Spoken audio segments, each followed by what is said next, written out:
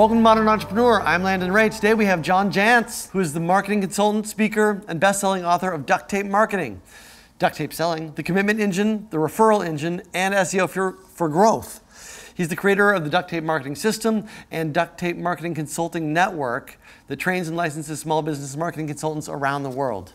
Thank you so much for being here. My pleasure. I've been a fan. I read your book. Um, you, well, you were in my office. You found a first edition uh, on my uh, on my shelf. Yeah, and I signed it. You didn't even ask me to. Yeah, that was nice. that was nice of me to let you sign it. Uh, so thank you for being here. You bet. Um, this is great. So, so you've uh, you know had a ton of success. It's been a long time now. How long has it been? You've been working. 29 years. 29, years I started my marketing consulting practice. Yeah. That's unbelievable. So you're 12.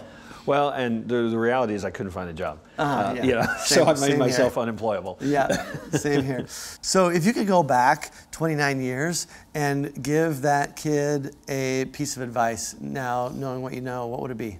I would say just do exactly what I did you Yeah. know, for 29 years. No, I, I really, to tell you the truth, it, I'm so bad at that kind of hindsight because I think, um, you know, if I have a talent, if you will, or, or a trait that has served me, it's curiosity. Mm-hmm. And so there were a lot of things I did that made mistakes because I was really curious and went this direction, went that direction. But it also it led me to blogging in 2003 and podcasting in 2005, Early. which you know ultimately took off and, and have been you know kind of the mainstays of my business. Uh-huh. Um, and I don't think that I would have gotten there had I not wanted to try out a lot of things. Um, I, I will say that you know that's something that now I think is is a real challenge for folks because hey, if all you're doing is trying out things, you know you're, you can drive yourself crazy. Yeah, there's so many Um, things. And so I think you have to have a point of view. And my point of view was always, could this new thing be valuable for my customers? Could Uh-huh. it allow me to serve them better? And so that uh, really acted as a great filter, I think. How do you decide, given that that there's like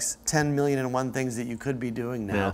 how do you decide, um, you know, when it's time to, to, to make an investment in, Yeah. in some new channel Yeah. or new project um, to, to reach out to customers in a new way? Well, you know, early on, I think I just worked more, like a lot of people. You know, I worked worked a lot of hours, and so I Yeah. experimented with everything.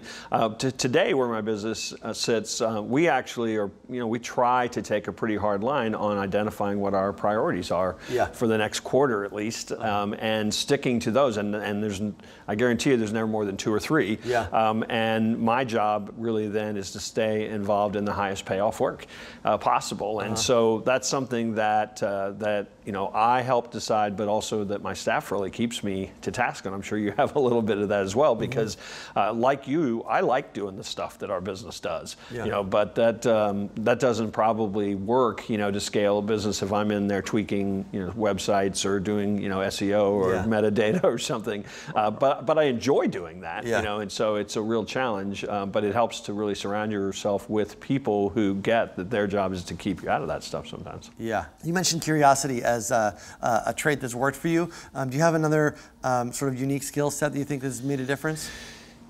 Um, you know, I, I really never like. I went into this thing just loving to learn, um, and I suppose that that's probably it. I mean, I read like a lot of entrepreneurs. I probably read some part of several hundred books a year, um, e- easily, um, and I think that, that that's something that um, that that really helps kind of keep that you know constant learning going.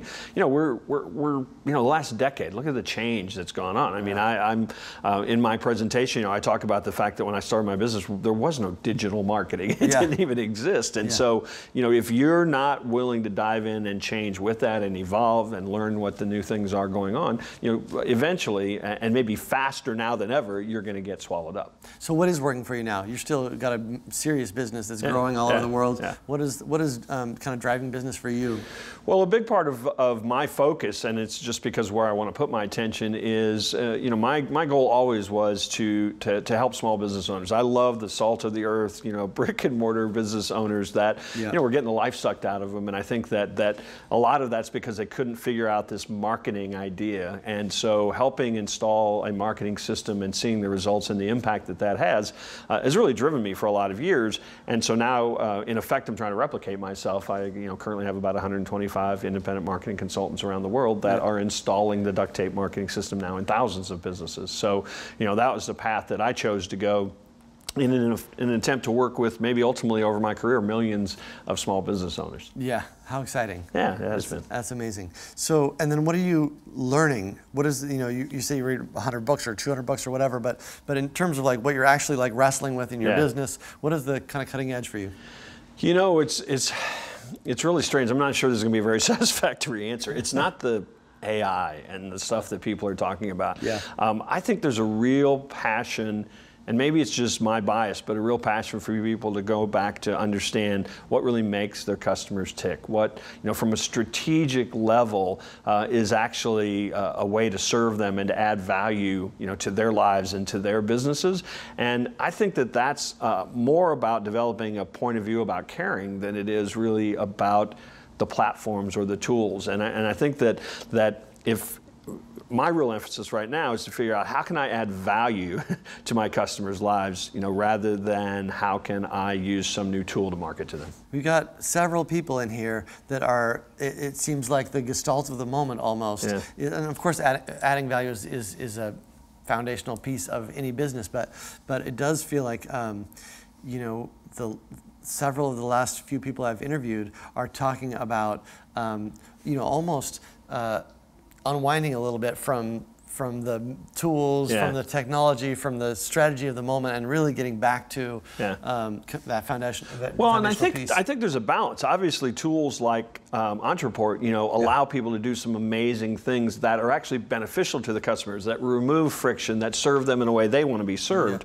And so I think that what you have to do then is is take you know the best of that and then be able to extract you know what are the ways now that we uh, can use technology for good but then also uh, understand that fundamentally you know serving customers adding value making people's lives better is what we do Yeah. um, and and we can't lose sight of that. And I think there was a little pendulum swing, you know, to look, all this technology will make it so we never have to talk, Talk to to anyone. anybody, yeah, exactly. Um, and I think we've swung back from some of that, and people are saying, okay, this this technology works for certain elements, Mm-hmm. but at at some point, you know, hugs will never go out of style. Yeah, hugs. so, uh, so what is it that you're actually uh, like implementing? That's the the is is the kind of the the manifestation of that? Yeah. that. Well, I, I, in my own personal work, you know, we're doing more live events, Yeah. um, and and I don't mean events like giant, you know, big events. I mean we are doing more. You know, 15 people in a room, you know, for a weekend, you know, Yeah. to, to figure out, you know, how they can solve each other's problems um, in a meaningful way, Yeah. you know, right then, not, you know, not just like here's a couple tips. Yeah. Um, so we're doing much more of that. Um, from a content standpoint, uh, one of the things that we're trying to do is just get a lot deeper and deeper. You know, there was a period there where it was like content, you know, more is better. Um, and what we're really, I'm really actually encouraging our our clients to, you know, to to, to i- if all you can produce is one piece of content a month, produce one awesome piece of content a month Yeah. instead of phoning it in. Yeah. Um, and you really use that content now to build much deeper relationships, not just as an SEO tool or not just as you know some something to put on your website, but actually use it as an asset for building deeper relationships. Yeah. We have the same sort of uh, drive, I think, to connect with our customers another way because we have we have uh, you know this is a, a live event we do, uh, Ontrapalooza, but apart from that, we don't have a lot of well, we have we have a few other things, but but you know it's it's software, right? It's, Yeah. it's pixels and and buttons and. Um, and even most of our support now is on chat. Uh, you know, people don't pick up the phone anymore. So we've, um, you know, made the bizarre investment of trying to take our content and, and put it into a magazine. Yeah. Uh, you know, specifically with the idea that just like bringing something back into the real world, Right. um, almost creates a relationship yeah. that um, that we're kind of like beginning to lose. Well, and I and I think companies like yours um, are doing a really good job, though. Even with you know part of that going to chat is you have to scale. It's really hard to scale. You know, let's get ten people in a room, you know, every week, right? Yeah. So you have to scale that. But I think what you guys are doing a great job is is you're ex, you're not just using that. Uh, connection to write FAQs. I mean, you're actually bringing it back to the engineering team, who is then, um, you know, maybe doing a better job of making a better product Yeah. because of the feedback that you're getting. And I think that's another way to have that human connection. It, it may travel through you know video chat or Yeah. Twitter or whatnot, but I think that that the the end is your customers seeing that they're being heard. Um, They they know and yeah. yeah, and I think that that's that's that's a manifestation of it that a company at scale can do. Yeah, So you've been at this a while. Um, you see an end game for yourself in, in the duct tape system? Um, you know, I have set it up actually to, you know, we were very systems driven. Um, we are very process and methodology driven. Uh, the network itself, I think, uh, you, you, know, one of the things that it was very dependent on me early on. Mm-hmm. Uh, people joined because they wanted to be part of duct tape marketing. And as it's evolved, it's actually taken on a bit more of a life of its own. It's very, you know, certainly uh, tied to the duct tape brand.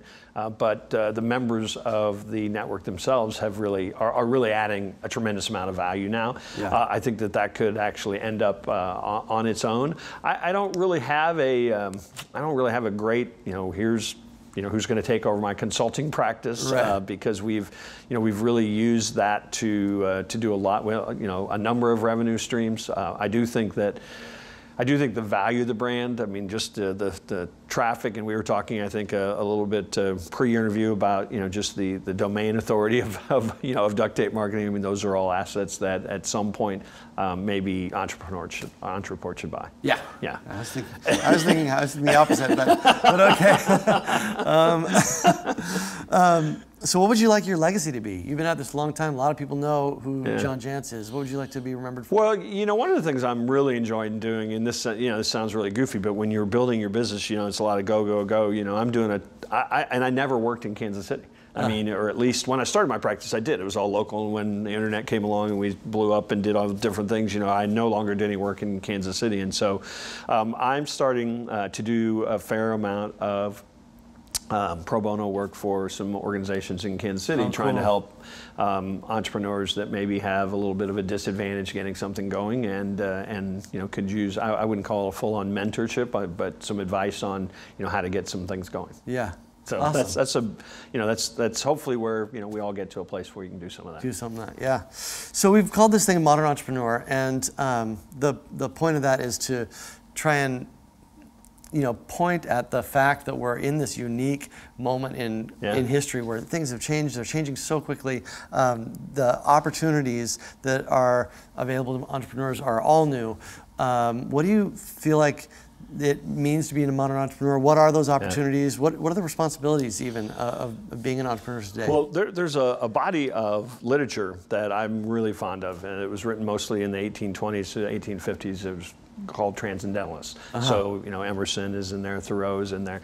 And, you know, really a big theme of that work was self reliance, mm-hmm. uh, which was Emerson's kind of. Uh, probably his, his, his, his, big, you know, it was a, it was actually an essay, a lecture, uh-huh. but it but it's the one he's probably the most known for. Yeah. Um, and I think that I think that we're in a period of um, the self-reliant entrepreneur right uh-huh. now. That that uh, it's not just about chasing some idea of creating the next YouTube uh, type you know type of thing or the next Uber or whatever you know whatever it is. Uh, that that there's a not only is there an ability to, you know, to get freedom and to get security, I think there's almost a, a, responsibility to yourself as an entrepreneur now to, you know, to trust what it is you're, you're doing and to, to stop listening both to the kind of stuff in your head and the doubts, you know, from other people that, you know, some, sometimes I, you know, I, I coach a lot of, you know, folks that are starting their business now, or at least I, I advise them. And, you know, one of the things that, you know, they're always struggling with is they're listening to too many other people and not to themselves. Yeah. Um, and I think that that's, you know, that's, that's kind of where we are. So I, I tell everybody that listens, go back and read Self-Reliance. Read Self-Reliance. Awesome. John, it's such a pleasure to have you.